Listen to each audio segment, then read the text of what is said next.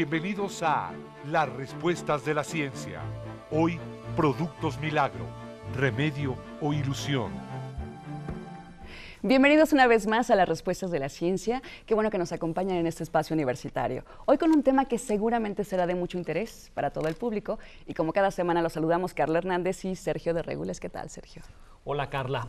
Como bien dices, el tema de hoy será de gran interés, como siempre. Se trata de los productos milagro, también llamados, yo creo que malamente, medicamentos frontera, que han invadido los medios de comunicación, convirtiéndose en un éxito debido a, su a que su publicidad ofrece maravillas terapéuticas, pero mucho se ha hablado sobre estos productos considerados engañosos y fraudulentos, que además de ocasionar daños cuya dimensión aún no conocemos. Así es, Sergio. Hoy analizaremos este fenómeno y sus efectos de la mano de tres especialistas en la materia. Pero antes de presentarse, los invitamos al público, a usted, a que participe a través de nuestras líneas telefónicas, correo electrónico y Twitter con sus dudas y comentarios.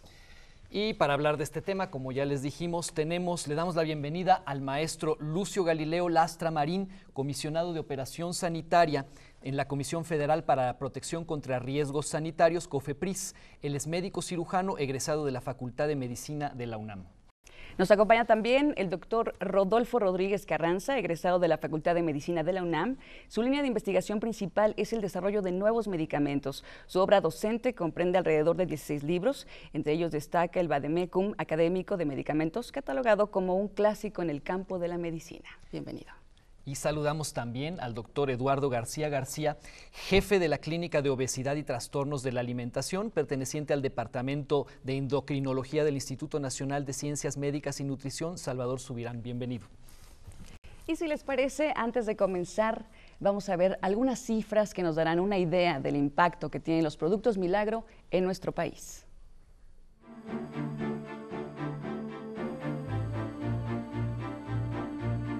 Productos Milagro en México. En México se comercializan alrededor de 260 productos Milagro. En 2010, la Comisión Federal para la Protección contra Riesgos Sanitarios, COFEPRIS, aseguró 24.561 productos Milagro. Dentro de los llamados productos Milagro o Frontera se encuentran los suplementos alimenticios, alimentos y bebidas no alcohólicas, productos higiénicos, medicamentos alopáticos, medicamentos herbolarios, remedios herbolarios, productos de perfumería y belleza. En 2009 fueron destruidos 95.764 productos milagro que ostentaban falsas propiedades preventivas de rehabilitación y terapéuticas. En el 2008 se comercializaron 22.000 productos milagro para bajar de peso. Alrededor de 1.600 empresas en México venden productos milagro. El 70% operan en el Distrito Federal, Estado de México y Jalisco. Usted los ha visto en la televisión, esos anuncios en, los que nos prometen que tomando cierto producto o untándose una crema o parándose encima de una tabla que se mueve, eh, vamos a ser en muy poco tiempo más hermosos, más juveniles y dinámicos. Se llaman productos milagro, pero yo creo que hay que ponerle muchas comillas, ¿no? Eh, también oía yo que les llaman medicamentos frontera, pero hay una gran diferencia entre uno de estos productos que se venden ofreciéndonos eh, cosas que son muy difíciles de creer, y un verdadero medicamento con aprobación de las autoridades sanitarias, ¿no es cierto? Un medicamento que llega al mercado ya trae detrás un proceso muy largo y muy laborioso de investigación de su eficacia y de investigación de que no haga, que no tenga efectos nocivos y cosas así. ¿Cuál sería la diferencia entre un medicamento propiamente dicho y uno de estos productos que hoy se llaman milagro? Bueno, pues hay diferencias eh, muy importantes. Los medicamentos registrados, los medicamentos que todos conocemos, son producto de un proceso de investigación muy largo, como usted lo acaba de señalar, muy complejo, pero además muy costoso. Requiere de investigación química, de investigación preclínica, que es la que se lleva a cabo en animales de laboratorio, de investigación clínica, que es la que se lleva a cabo en seres humanos, y después de entre 5 y 10 años de investigación que trata, por un lado, de determinar en los animales un efecto biológico potencialmente útil en la terapéutica, y por otro, las reacciones adversas, los efectos tóxicos que produce este medicamento. Después de que se tiene la seguridad que tiene un efecto potencialmente útil y que no produce efectos tóxicos inaceptables, es cuando las oficinas correspondientes finalmente autorizan su uso en seres humanos. Pero aún después de la autorización, estos productos siguen un proceso de farmacovigilancia que implica que una vez en el mercado tenemos que estar muy atentos para verificar no solo su nivel de eficacia, sino para estar prevenidos contra cualquier efecto adverso. Los estudios en animales de laboratorio es una garantía o una protección al consumidor. Estos aspectos, desde mi punto de vista, no los cumplen los productos milagro. Y supongo que ustedes como expertos en este tema habrán visto cosas que ni nos imaginamos, que nos va a encantar que nos cuenten acerca de estos productos. Una de las cosas que tienen los productos milagro y, y que se llaman también productos frontera es porque, como bien decían en el aspecto introductorio, hay un grupo de eh, productos que de alguna forma pueden comercializarse y se pueden registrar como un producto de perfumería y belleza o bien puede registrarse como un remedio herbolario. Hay un listado, un acuerdo de herbolaria mexicana que tiene perfectamente definida o identificada sus propiedades terapéuticas y para comercializarse como tal tiene que tener un registro, una, planta que la produce con unas buenas prácticas de manufactura y este registro incluso podemos verlo en el diccionario de especialidades farmacéuticas de estos productos autorizados como tal. Cuando se utiliza un remedio herbolario y se está utilizando como un suplemento alimenticio, es donde está utilizándose un proceso de frontera entre dos grupos de productos autorizados. ¿Qué cosa es un suplemento alimenticio? Es aquello que en la dieta ordinaria, en la dieta cotidiana, a veces no alcanzamos a cubrir y entonces el suplemento finalmente eh, da, aporta la cantidad de esos nutrientes que de otra manera no tendríamos. En general, en términos, eh, eh, por decir términos concretos, yo diría, ahí está el grupo de las vitaminas, está el grupo de los minerales, hay algunas fibras que puede, pero no quiere decir que a, un, este, a, un eh, suplemento alimenticio se le vaya a atribuir una actividad preventiva, curativa o rehabilitatoria. Ahí aparece un proceso de un engaño al consumidor, porque efectivamente, como bien nos decía hace un momento el doctor, eh, la situación estriba en que no existe la fundamentación científica para decir que produce tal o cual efecto en beneficio de la salud o en prevención de alguna enfermedad. Esto eh, eh, ahí no solamente se le engañó al consumidor, sino que además aparece la otra parte.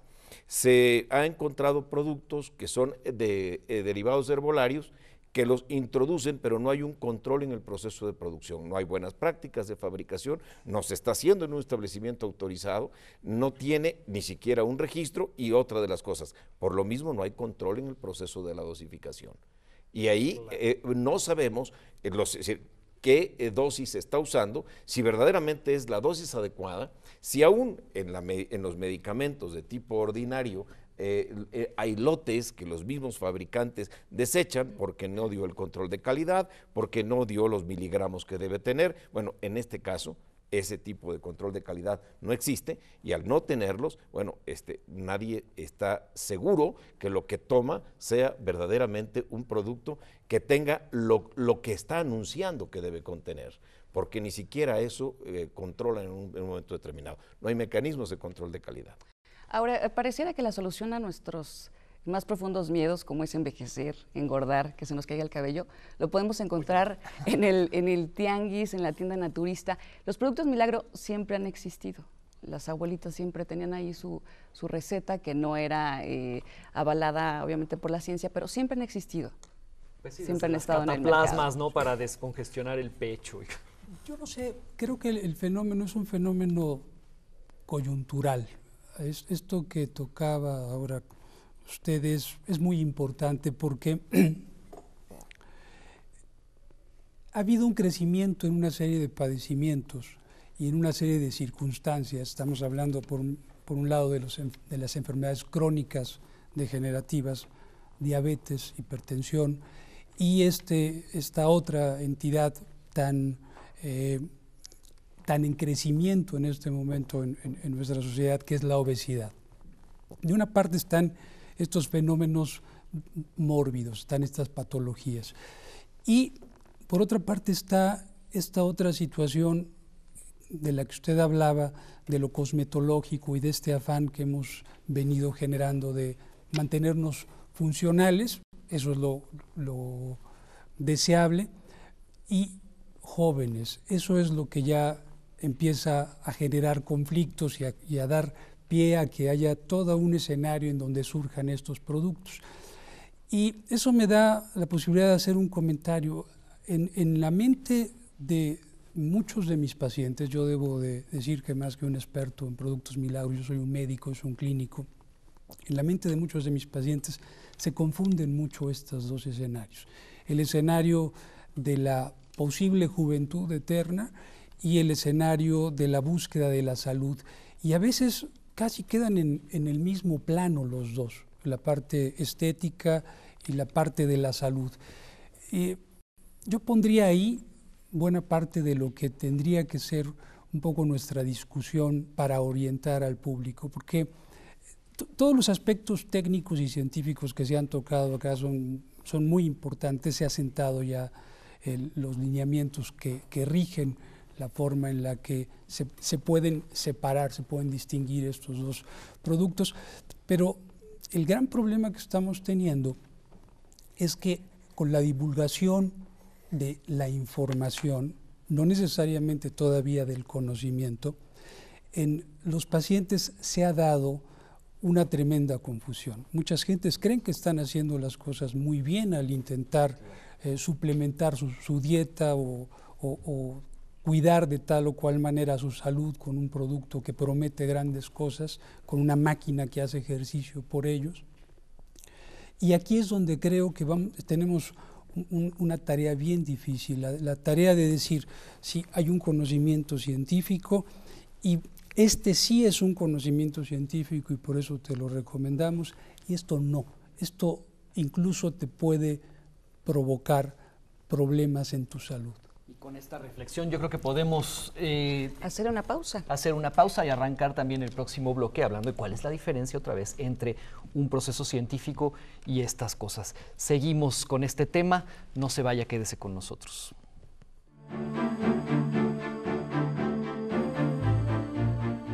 Ponte en contacto con nosotros al 5622-9348, 5622-9349 y Lada sin costo 01800 8388-626 o escríbenos tus comentarios a respuestas.unam.tv.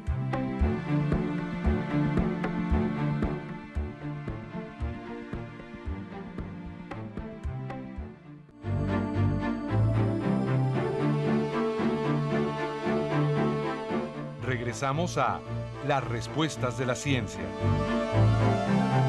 Continuamos en las respuestas de la ciencia con el tema de los productos milagros. Si usted está viendo este programa y tiene alguna pregunta o comentario, llame a nuestras líneas telefónicas. Enseguida, bueno, pues vamos a ver un testimonio eh, de la doctora Vázquez, psicóloga de la Clínica de Obesidad del Instituto Nacional de Nutrición. Nos va a ofrecer su punto de vista sobre la eh, carga psicológica que se produce en los consumidores de estos productos milagros. Vamos a verlo.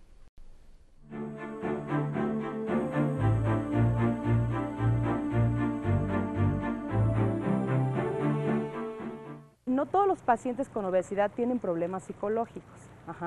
Sin embargo, y, por esa razón es que no todos tienen dificultades para perder peso y no todos se enganchan con ese tipo de productos. Pero en quienes se enganchan, yo creo que el origen del problema es una necesidad volvemos a, lo mismo, una necesidad de resolver rápido el problema porque ya están desesperados. Entonces, la desesperación o el cansancio, ¿sí? y originado por una insatisfacción corporal, puede llevar entonces a usar estos recursos que son rápidos, que pueden resolver rápido el problema. Esto los motiva, ¿sí? O sea, dentro de ese proceso los puede motivar, pueden pensar que hay por fin el tratamiento que todo el mundo estaba esperando, ¿no? Los lleva a motivarse, se enganchan en conductas que son para ellos de alguna manera saludables o se enganchan en conductas para, como diciendo, estoy haciendo algo por mi problema, pero después al ver los resultados que no son lo que esperaba, vuelve a suceder que se vuelven a desesperar, se pueden empezar a deprimir, a sentirse ansiosos. Sí existe un fenómeno que es eh, del placebo. Si tú le dices a una persona, este, mire, me duele la cabeza y le dices, mira, tómate esta pastilla y esto te lo va a quitar, te lo aseguro, ese mecanismo de asegurarle algo al paciente puede movilizar muchas cosas y efectivamente puede llevar a que, ay, sí es cierto, se me quitó el dolor de cabeza con esa pastilla, ¿sí? Igual puede pasar con muchas otras cosas. Puede ser que los tenis tengan este efecto placebo, ¿sí? Que efectivamente hagan que la persona se sienta diferente aunque en realidad los tenis no tengan ese efecto, porque obviamente no tienen una conexión directa al sistema nervioso para generar felicidad o para generar este, tonicidad muscular, ¿sí? Eso por un lado, sí pueden funcionar como efecto placebo, pero el efecto placebo dura poco tiempo, porque llega un momento en que el, individuo se da cuenta, ¿sí? O, va a requerir más pastillas o se da cuenta que no es esa pastilla lo que está mejorando, sino su preparación psicológica ante, ante ese, ese material o esa pastilla o esos tenis. Pero por otro lado también es probable que alguien que se enganche en una conducta para pérdida de peso, como puede ser, me voy a poner unos tenis y voy a caminar ocho minutos, es probable que también se enganche con otras conductas y esto genere una cadena que al final se traduzca en una pérdida de peso considerable. Creo que un factor que en muchas ocasiones llega a romper este círculo vicioso es que el paciente se dé cuenta ¿sí? que su enfermedad llevó varios años y que por lo tanto para recuperar la salud va a implicar que lleve un proceso igual.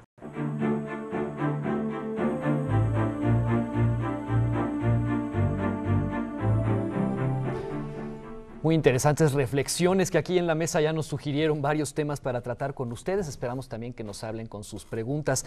Eh, pero antes de seguir, el doctor Rodolfo Rodríguez Carranza tenía un comentario acerca de lo que nos quedamos diciendo en el bloque anterior, doctor. Sí, eh, es eh, con relación a un comentario que hizo Carla que me parece muy importante. La idea de productos milagro no es nueva, no es ninguna novedad. de los aspectos históricos, se puede señalar, por ejemplo, el papiro de Evers, de 1500 años antes de nuestra era, en que ya había alrededor de 700 formulaciones para tratamiento de enfermedades y todas ellas con la intención de ser la cura milagrosa. Pero esto alcanzó su máxima expresión con uno de los médicos griegos más distinguidos, con Galeno. Él buscó así, literalmente, la cura universal. Mezcló plantas de todos tipos, hojas, tallos, raíces, productos animales, desde eh, piel, huesos, eh, eh, vejiga, testículos, páncreas. Y estos productos mezclados, desecados, él señalaba que era una forma de encontrar la solución a todo tipo de enfermedades que se encontraban en aquella época. Al parecer, pues la historia de la humanidad da estos vaivenes y muchos años después volvemos a lo mismo, mezclas de productos naturales y uno asume que por ser naturales no son tóxicos. Cuando estamos hablando de productos naturales hechos de plantas, pues las plantas son extraordinarios laboratorios de química, sintetizan una enorme cantidad de sustancias químicas que pues decimos todo es planta, todo es esto, pero no tenemos información de si esas sustancias químicas de esas plantas tienen interacciones a favor o en contra o tienen efectos tóxicos verdaderamente marcados. Pues sí, hay plantas venenosas finalmente. Hay plantas venenosas, por supuesto. y también los productos que se sintetizan en un laboratorio, pues no dejan de ser naturales por eso, digo, no violan ninguna ley de la naturaleza. ¿no? Es una interesante confusión esa de lo natural necesariamente bueno y además opuesto a lo sintético, que por lo tanto sería malo, ¿no? Eh, ahora, en los comentarios que, oímos hace unos momentos, yo cuando oía eh, a, la, doctora hablar, pensé que la gente que se engancha en estos tratamientos disque milagrosos, como que presenta las características de una especie de trastorno alimentario, ¿no, doctor? Usted que sabe de estas cosas de anorexias, bulimias y cosas así. ¿Puede haber un trastorno alimentario que consista en la manía de consumir estos productos para engordar, para enflacar, para... Yo sería muy cauteloso en, afirmar algo así, diría de entrada que no tenemos evidencia de que así sea. Sí tenemos evidencia de que toda esta eh, intención de curaciones rápidas, esta fe enorme que hemos ido eh, construyendo en torno a la ciencia, y aquí hago un paréntesis, hoy en día los productos milagro no se anuncian como hierbas naturales nada más, se, se anuncia como una hierba natural y en consecuencia buena, a la par de esquemas verdaderamente maravillosos sobre el, funcionamiento interior del cuerpo humano. Entonces, esto eh, visualmente eh, en, nuestros, en, nuestros eh, pacientes genera una distorsión porque dicen, pues ese producto así de bien presentado en la televisión, tiene que ser serio. Claro, con pedacitos de verdad con pedacitos de verdad se construyen enormes mentiras. Hay libros completos, hay teorías completas nutricionales para perder peso, dietas de, de algunos médicos o incluso algunos ni médicos han sido, que son gentes muy inteligentes que han tomado información verídica, la acomodan de tal manera que resulta muy convincente, incluso para lectores con estudios universitarios, y a partir de eso lanzan la gran mentira de que solamente su propuesta es la útil.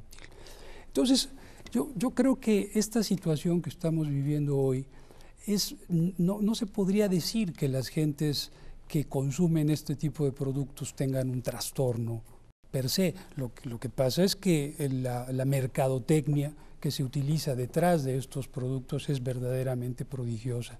Y entonces es muy difícil resistir ese bombardeo y yo conozco mucha gente pues con buena formación científica que acaba sucumbiendo e intentando cosas, sobre todo de orden cosmetológico, pero no es tan difícil que la gente acabe introduciendo cosas a su cuerpo, cosa que, que es sorprendente porque la gente sí ha aprendido a ser muy cautelosa para introducir medicamentos eh, de, bien probados por, por, la farmacología, es muy, muy reservada y quiere una serie de, em, aseguramientos, pruebas, garantías. garantías, exacto.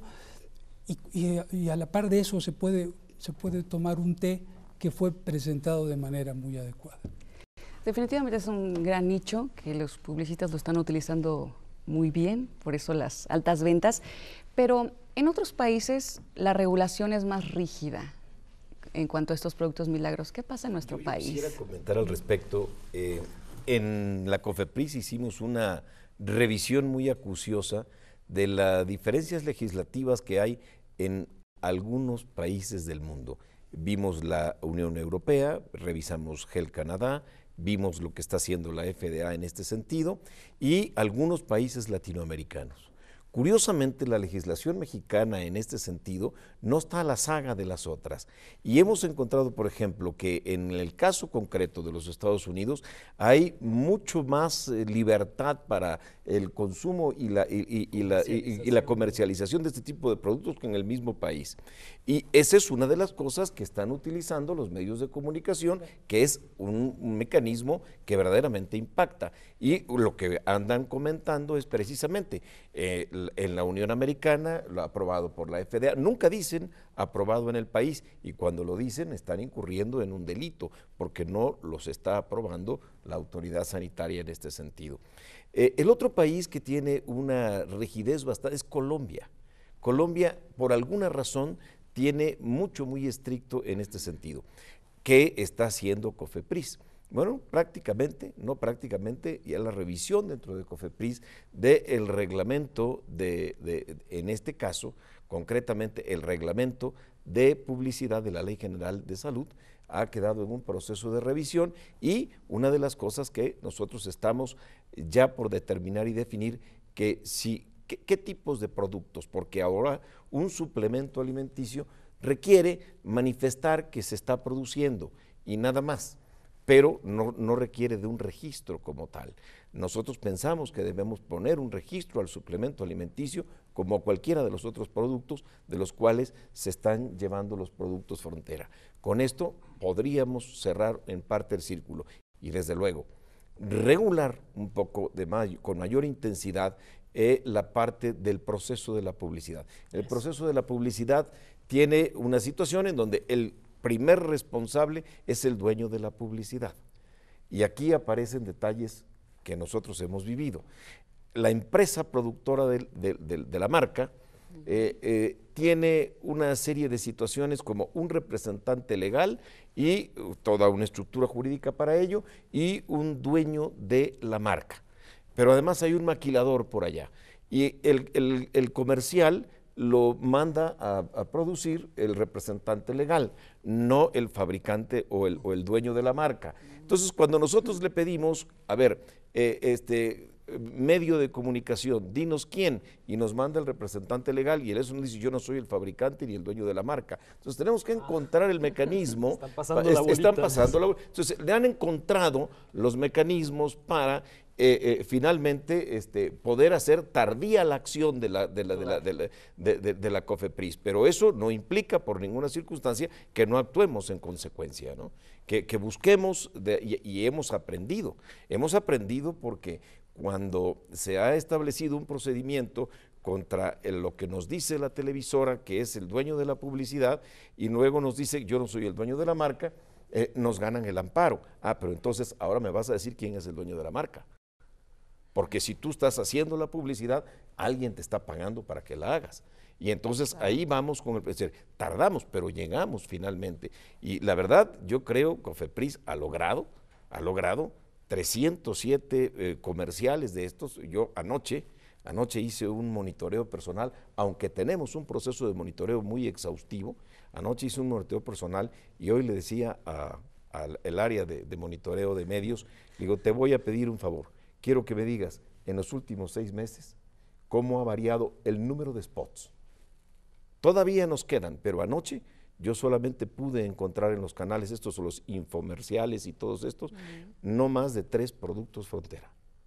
Y esto, bueno, me molestó que existieran tres, pero dije, vamos, para la cantidad que había, las cosas han variado. O sea que son vivísimos los que hacen estas cosas, porque por un lado está este, este, estas eh, triquiñuelas para, para dilatar la, acción, ¿no? que se pasan la bolita unos a otros, y al mismo tiempo, como decía el doctor García, en la, en la publicidad se amparan del conocimiento científico, de la imagen de la ciencia, para, para darse una, legitimidad, una legitimidad que en realidad no tienen. ¿no? Entonces, Creo que son los únicos comerciales donde yo he oído, las únicas personas a las que yo he, oído decir esto está demostrado científicamente son personas profundamente anticientíficas. Nunca he oído a un científico decir esto está demostrado científicamente. ¿no?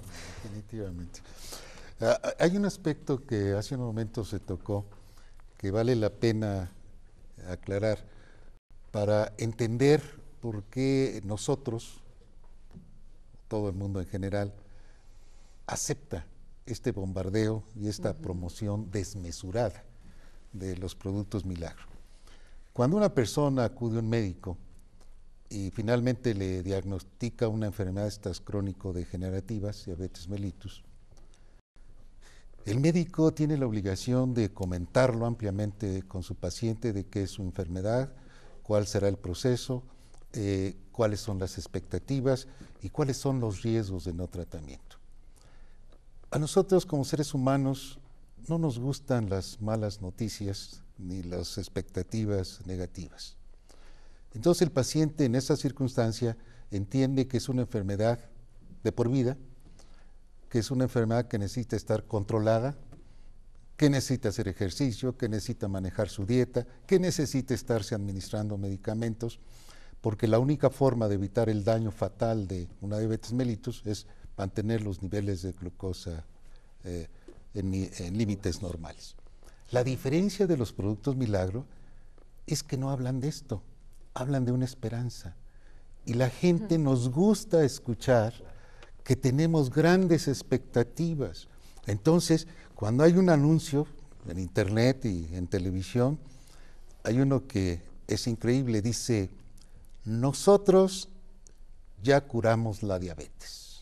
Esa ah, es la página principal. Hemos encontrado la fórmula mágica y luego viene el nombre de la persona que es el descubridor de la cura, no tratamiento, no control, de cura. Está hablando de erradicar una enfermedad que toda la evidencia científica acumulada a través de muchos años, particularmente durante el siglo pasado, deja claro qué es la enfermedad, cuáles son los riesgos, esto, el otro y más allá. Este, y de repente alguien cura la diabetes mellitus. Ahora pongámonos en los pies de una persona con diabetes mellitus. Le están ofreciendo una esperanza maravillosa de calidad de vida. Va por él, va por él. Y además siempre dicen, nada se pierde comprobar, pero luego vamos a ver que sí se pierde comprobar, ¿no? como estamos a, un minuto, tal vez deberíamos de dejar ese tema para el siguiente bloque, pero en efecto, ¿no? La esperanza, con la esperanza usted cree que nos manipulan con la esperanza y yo he oído a mucha gente que dice, bueno, pues ¿qué pierdo probando? Yo creo que en el próximo bloque podríamos hablar de qué se pierde probando en casos como una enfermedad de estas. ¿Nos manipulan con la esperanza o somos muy ingenuos? Bueno, tal vez sea la condición humana, ¿no? Pero vamos a hacer una pausa. Agradecemos a usted que se está comunicando con nosotros. En unos minutos regresamos para continuar con el tema de los productos milagro aquí en las respuestas de la ciencia.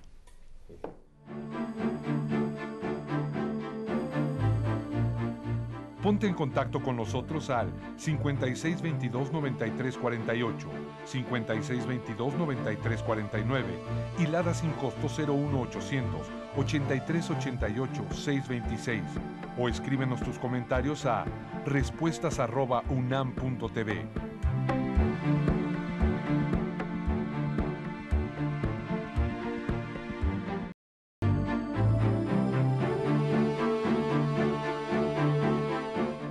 regresamos a las respuestas de la ciencia. Qué bueno que continúa con nosotros aquí en las respuestas de la ciencia con el tema de los productos milagro. Enseguida tenemos una encuesta sobre qué tan familiarizada está la gente con este tipo de productos y qué tanta conciencia hay del impacto que tienen. Vamos a verlo.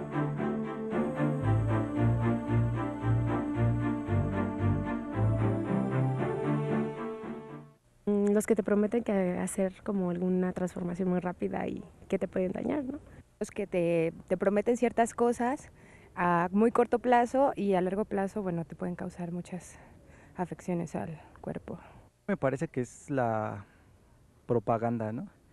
Este que juega con las necesidades de las personas. Pues que funcionan así a corto plazo, a veces hasta muy accesibles en encontrar en farmacias, en tiendas de autoservicio. Bueno, es que hay como varios productos milagro, ¿no? Algunos son este, para adelgazar, otros, este, la mayoría son de salud y te quitan todo, ¿no? Lo que, lo que pueden. Pues es que en sí se me hacen una estafa. Tratan de buscar la necesidad de una persona y explotarla con precios bastante altos.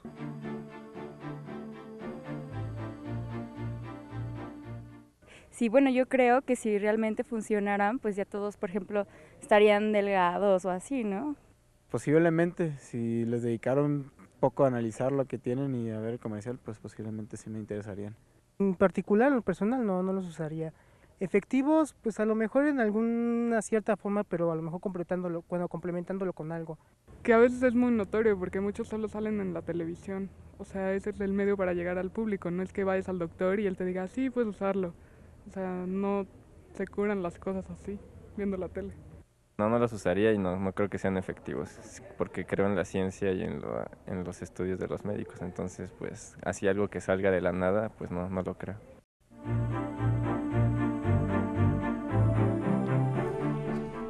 Me llena personalmente de emoción ver a Juan en los testimonios que acabamos de ver decir porque creo en la ciencia. Creo que de eso estamos hablando aquí finalmente, de la diferencia entre ciencia y charlatanería. La, charlatanería se disfraza muchas veces de ciencia, pero hay formas de, percibir que no lo es. Eh, estábamos hablando hace un momento de la gente que decía también, nada se pierde comprobar, pero sí se pierde comprobar, ¿no? ¿Qué se pierde comprobar si yo estoy enfermo de, de diabetes mellitus y pruebo uno de estos? En principio yo diría que algunos de estos productos les adicionan a veces de manera mañosa eh, algún medicamento o por ejemplo hubo la silimarina por allí o cuando sustancias con cromo Eh, eh, hay algunos, algunas formas de cromo y en ciertas dosis que son permitidas. Cuando exceden ciertos miligramos, el cromo induce, por mecanismos bien definidos, de alguna manera al estimula al páncreas a la producción de insulina. Si un diabético empieza a tomarlo y está tomando un hipoglucemiante de manera concomitante, puede tener un efecto secundario severo como una hipoglicemia en un momento determinado. Pero vamos por otro lado. Hay unos productos que se anuncian allí para proteger la próstata y usaban eh, el sau palmetto, que es una planta, que eh, una de las cosas es que sí tiene cierto efecto terapéutico a dosis correctas, pero tiene un problema por el cual muchas veces los urólogos no lo recomiendan y me parece pertinente. Es el hecho de que el producto puede enmascarar los resultados de lo que es eh, la fracción libre del antígeno prostático o los niveles de antígeno prostático y no detectar oportunamente lo podría ser el inicio o un carcinoma prostático. Entonces, ah, por eso estos productos, cuando están autorizados, es que se prescriben, cuando tienen un registro como tal, son prescritos por un facultativo y están vigilados por un facultativo. Es decir, bajo esas características, cuando tienen registro, cuando es un medicamento y los vigila un médico, entonces no se prueba se está utilizando el medicamento adecuado. Ahora, probar un producto porque lo vi en la televisión, bueno, para mí los riesgos son mucho, muy elevados. Claro. Yo, quisiera agregar algo que estamos viviendo hoy con, la situación de salud que se vive pues, en, México y en muchas partes del mundo, que son las enfermedades crónicas. Toda esta fantasía de que pueden haber soluciones rápidas y fáciles, convenientes en todo sentido, es tremendamente nocivo para, para la salud en general de una sociedad. Y lo es porque debilita mucho el bien fundamentado saber que se tiene sobre cómo prevenir muchas enfermedades. Las enfermedades crónicas en particular pues se previenen con un estilo de vida saludable. Si alguien me ofrece que puedo hacer lo que yo quiera, cuando quiera, como quiera, y después tengo la opción, porque así crezco, crezco con este bombardeo de ideas. un niño crece con esta noción de que la salud es algo que se puede ir a comprar fácilmente a la farmacia. y la salud es, algo más complicado. Sí se requiere de medios, sí se requiere de, fármacos, pero también se requiere de, de este saber lo que es la salud. En particular las enfermedades que son motivo de todos estos productos, la obesidad concretamente, son eh, patologías que se construyen por la sociedad completa, por los sistemas completos. de hecho, no sabemos bien qué determina la obesidad porque es tan compleja como patología que intervienen muchos factores sociales, antropológicos, psicológicos, genéticos, todo está entremezclado. Y la única estrategia científicamente demostrada que tenemos hoy es cambiar estilos de vida que no son adecuados para mantener un peso saludable. Es lo único que tenemos hoy.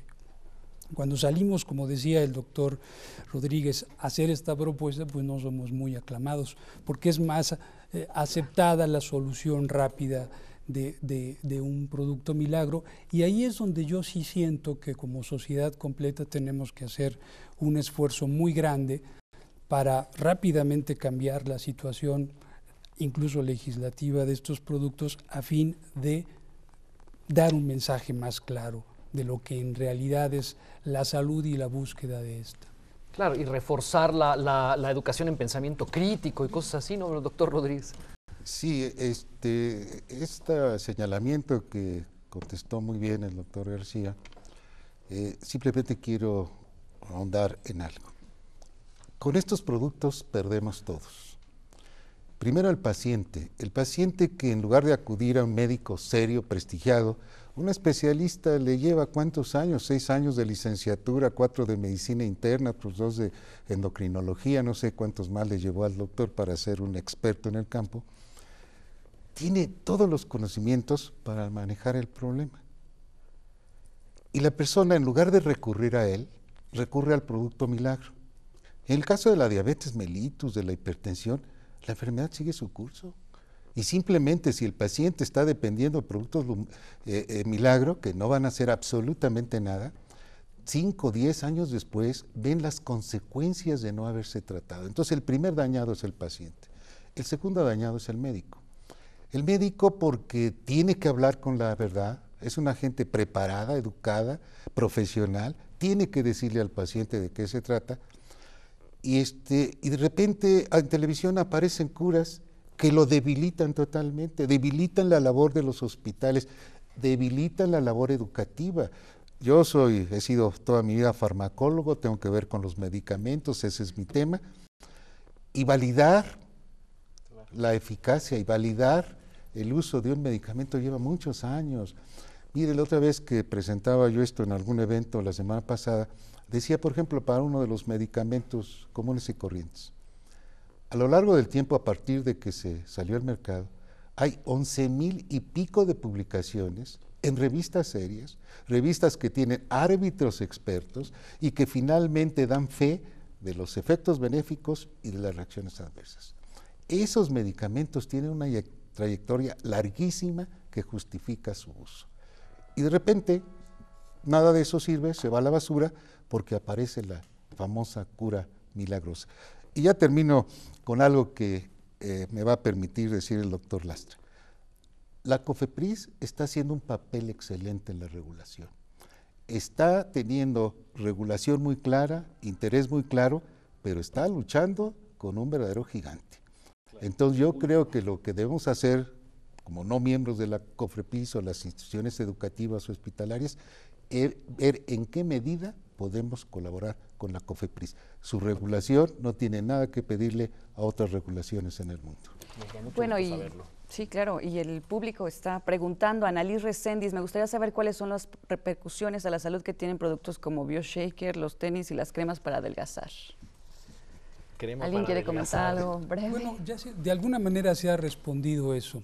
Tendríamos que hacer estudios muy, muy serios, muy controlados. No tenemos una respuesta absoluta, así, científica, validada, para, para esa, esa, pregunta, sí tenemos una, una respuesta parcial. Primero, la eficacia de estos productos no, no, no, no es tal. Cuando alguien tiene beneficio con estos productos es porque está haciendo un esfuerzo, porque aparte de ponerse unos tenis camina, porque aparte de ponerse unos tenis disminuye el consumo de algunos alimentos, porque aparte de eso se toma el medicamento correcto para, para controlar su glucosa. Eso es lo que está dando el beneficio y, los tenis o el, aparato solamente se montó en esa situación ya favorable. Bien. Sergio Rodríguez, eh, cuando existía la Secretaría de Salubridad y Asistencia no había tanta publicidad de los productos Milagro y antes estaba mejor regulado. Felicitaciones al programa. Bueno, la Secretaría de Salud y Asistencia este, solamente ha cambiado su nombre, se ahora se llama Secretaría de Salud y la COFEPRIS es un órgano desconcentrado que depende del secretario de Salud y es la que se encarga del proceso regulatorio. Antes la regulación estaba dividida en seis direcciones generales, una dedicada a medicamentos, otra a alimentos, estaba, eh, no recuerdo exactamente el grupo, la COFEPRIS conjuntó precisamente todas. Lo que sucede es que también aparecen algunos detalles.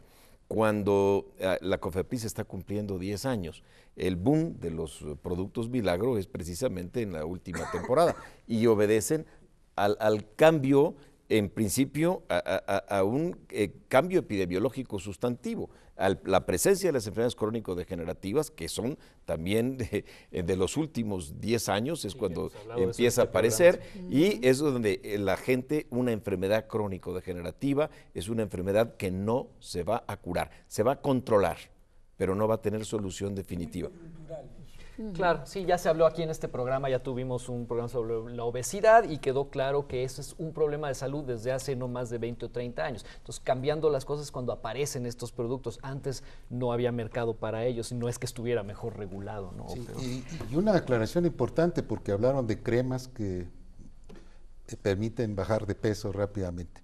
Entender una cosa untada, entender una cosa elemental, la piel es un órgano de protección es muy difícil que deje pasar sustancias químicas. Entonces, la formulación tiene que ser muy especial y absorberse el medicamento. Entonces, estas cremitas que se untan, pues yo supongo que tienen buen, buen olor y buen aspecto, pero lo cierto es que no van a hacer absolutamente nada porque no se absorbe nada. Alicia Villarreal, ¿cómo es posible que pasen sus productos eh, nocivos estas empresas y por qué permiten su transmisión? Sí, ¿por qué se tolera? Bueno, creo que está más o menos eh, respondido. Ese es el proceso, es el proceso regulatorio. Es decir, las empresas tienen una utilidad por hacer la publicidad y nosotros tenemos la obligación de ver que esa publicidad no se dé. Nosotros el año pasado logramos bajar 307 este, spots publicitarios nada más dedicados a Producto Frontera amén de otra cantidad en otros sentidos, porque no solamente regulamos la parte de productos frontera. Alejandro Zúñiga, ¿qué sucede con el profesional de la salud que presta su nombre para publicidad de este tipo de productos? Sí, efectivamente nosotros los hemos encontrado de dos tipos, eh, porque luego ponen el nombre del profesional en la televisión y su cédula profesional esto lo llevamos a una revisión. La, eh, eh, la, Secretaría de Educación Pública, la Dirección de, de, profesiones, permite por vía Internet identificar en el número de cédula o por el nombre de la persona si esto corresponde o no. Y nos hemos encontrado que son cédulas apócrifas o algunas ocasiones sí son profesionales de la salud. Eh, existe de las, de las dos maneras. La verdad, bueno, es que como en muchas de las cosas, el aspecto de la ética es un aspecto vinculado no nada más a la formación escolar. Yo creo que la Facultad de Medicina, eh, una de las cosas que hace es una extraordinaria enseñanza de la anatomía y, tiene sus áreas de, buenas prácticas, tiene su práctica de medicina humanista, pero la condición de la persona es la que finalmente eh, aflora en estos momentos. Y también el caso del notario, que dice que bajó la cintura tres centímetros y que está estipulado. Efectivamente pero no está avalando el producto.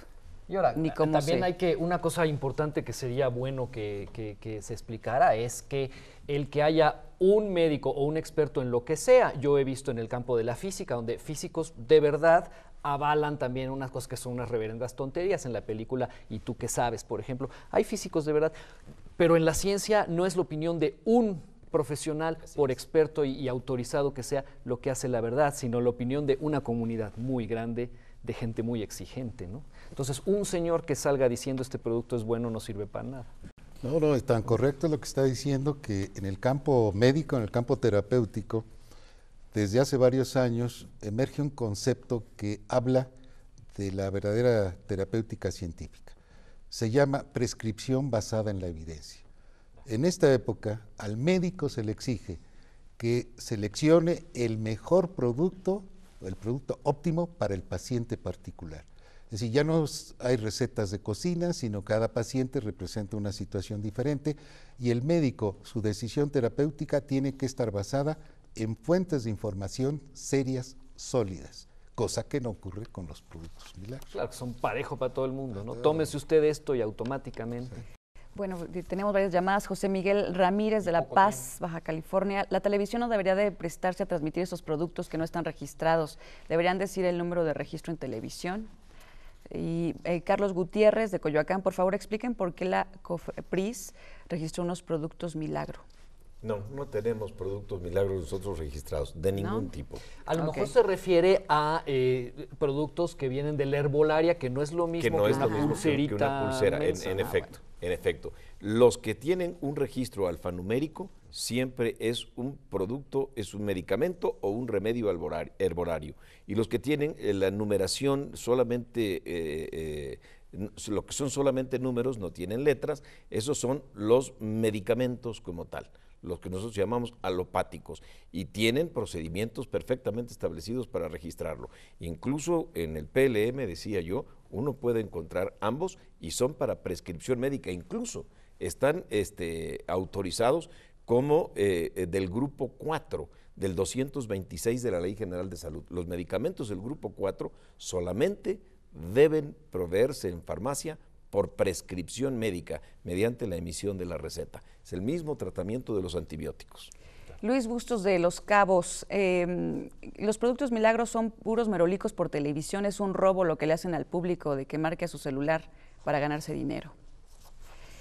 Así es. Gracias por su llamada. Roberto Castillo de Veracruz. En Europa no venden nada que no esté registrado por el Servicio de Salud. Es un programa muy interesante. Felicitaciones. Y nos sugiere un programa. Gracias, Roberto. Lorenzo Guzmán, yo adquirí. Sí, claro.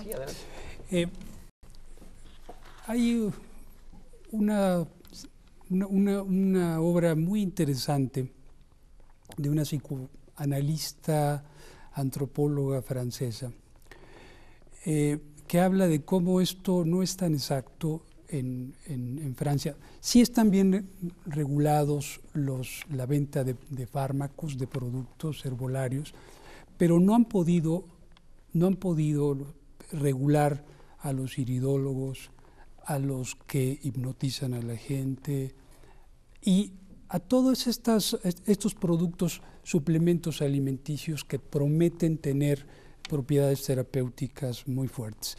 Y esto tiene que ver con situaciones coyunturales, como se ha dicho en varias ocasiones en, la mesa, de, esta necesidad que de pronto surge en la sociedad para atender algunas situaciones de salud y de la falta de ética y de escrúpulos de todo un aparato económico que se ha puesto al servicio de los que lucran con esta necesidad de la sociedad.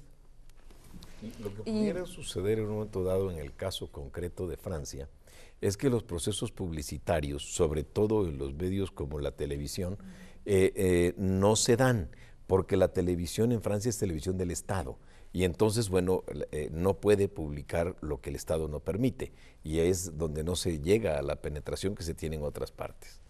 Lorenzo Guzmán, bueno, ya la última pregunta porque estamos a punto de terminar el programa. Yo adquirí, adquirí ciertos productos, uno es Purifígado y el otro es eh, Rejuvenex. ¿Sirven estos productos? ¿Me pueden asesorar? En un minuto estamos saliendo. la, la respuesta es muy sencilla, no. Correcto, ahí está. No hablemos más del asunto, ¿no?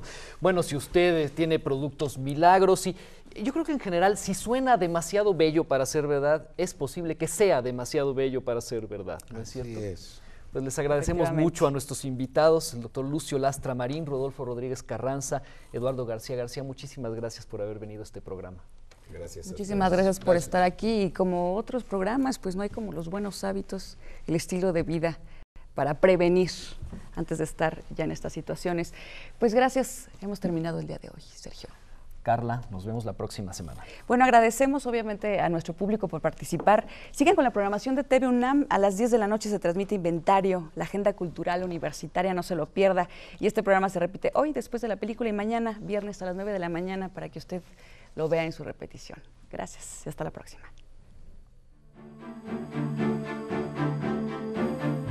Los esperamos la próxima semana en Las Respuestas de la Ciencia.